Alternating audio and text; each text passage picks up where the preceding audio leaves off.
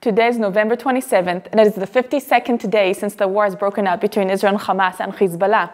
The big news is in these newspapers that uh, 14 Israeli hostages have been released yesterday in the third stage of this uh, temporary ceasefire. 14 hostages, 14 חטופים Israelim, Israeli hostages, and three foreign workers were released from the hands of Hamas. And here we see their faces. It's women and children, no fathers. Some of the fathers are still in captivity. Others have been uh, killed on October 7th.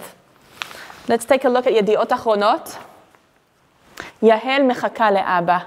Yahel is one of the girls that was uh, released yesterday, and she's waiting for her father. Her father is still in the hands of Hamas uh, with many more hostages in Gaza. Avigail Babait. Avigail is at home without mother and father. So if this was Yahel, this is Avigail, a four-year-old girl. Uh, she was released yesterday. Everybody was so happy to see her safe and sound, uh, but her two parents were killed on October 7th. This headline reads that some combat fighters declared a rebellion in a specific platoon. We'll read more uh, details inside. It is a rare story, but it happens. But first, the major headlines are about the return of the hostages. It says, How much we have waited for you, Avigail. And each picture here, they're beautiful photos and stories of the hostages returning to their families. Uh, some of them are still separated because of um, the murder um, of the members, and some uh, fathers are still in the captivity in Hamas. But you see here uh, joyous moments, um, huge smiles, tears, and hugs. Very, very exciting to see. Right here it says about Alma and Noam, for instance. Alma is 13, Noam is 17, but the, the mother was murdered. The father is still in captivity, but the children came back.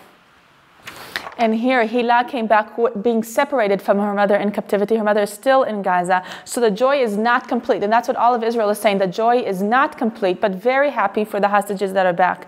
And here we see the Thai workers, uh, Thai families, uh, very, very happy. They were crying from excitement. The next headline reads about uh, the dispute that is causing a storm, the elite unit, the intelligence of the IDF. It's called 8200. And uh, it just says about the in information that was there before the attack on October 7th, but it was ignored.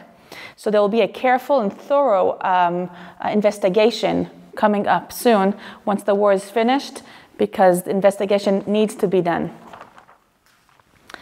Sleeping on the benches, little food, and waiting a long time to use the bathroom. These are um, a few you can say testimonies of uh, the time in the captivity. It's right for just a few of the captives. We don't know the whole story, but we're slowly gathering information um, about what was it like in captivity. It, it, everybody is interested. What is it like in Hamas captivity? And the information is slowly coming out.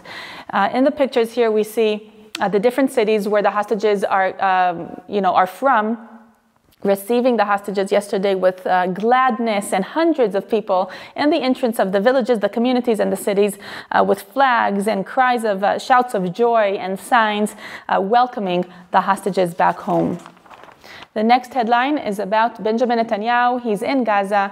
Um, he's the prime minister of Israel, of course, and it says Nilcham. He's fighting in all fronts, and they're meaning that he's also fighting in the politic, political front. Um, that's why he's in Gaza and shows on he's with uh, the military uniform um, amongst the soldiers there, and he says, "We will fight until the victory." Mamshichim ad We'll continue until the end, until the victory. Ad the next headline was referred to in the front page. It says, Hakrav shepirek et the battle that tore apart the platoon. The platoon commander and his deputy were removed from their job as a result of withdrawing in battle and not engaging in battle with the enemy. Both of those officers with uh, dozens of the soldiers under their command claimed that we did not get aid, we did not get support, uh, back, you know, backup support uh, in front of so many uh, terrorists, dozens of terrorists that were fighting against us with RPGs. So there is a um, crack in trust in this ID, in the IDF platoon. But from an investigation, it says that the, pl the planned attack was not even planned well. It, was, it wasn't properly planned. And uh, lessons are learned, the IDF says, and we're filling up again the rows or the positions of this platoon. But the, um, the platoon commander and his deputy are removed from their job. Here's the daily segment of the hostages, Chatufim. Omer, he's 22 years old from Gadera, and his three best friends are standing holding his uh, photograph with a sign that says, Machzirim et Omer habaita, bringing Omer back home.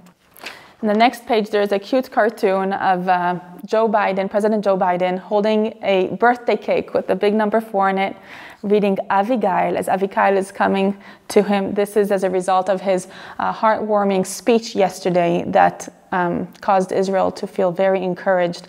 Uh, his joy that Avigail is back into Israel. And we'll finish on this positive note. It reads Yediot Achronot, the name of the newspaper, is with the combat soldiers in Gaza. And here, um, these are soldiers that are, you know, just saying hi to their parents and their family. Um, for instance, I can say uh, here, uh, he's from an elite unit. He says to my uh, dear wife, I love you very much. And to my uh, dear loved parents, thank you for everything. We're here in an important role, an important assignment. I promise to come back as soon as I can. Kisses to everyone. I'm sure the parents and the wives are uh, so happy to see their faces and their words printed like this uh, for them, especially for them in the newspaper. So these are the major headlines in the new Hebrew newspapers. There's another stage of this temporary ceasefire that's happening today with the release of more hostages in exchange of Palestinian uh, terrorists that are in jail in Israel. For more stories, go to All Israel News and follow us on social media and YouTube. This is Rotem Magen for All Israel News.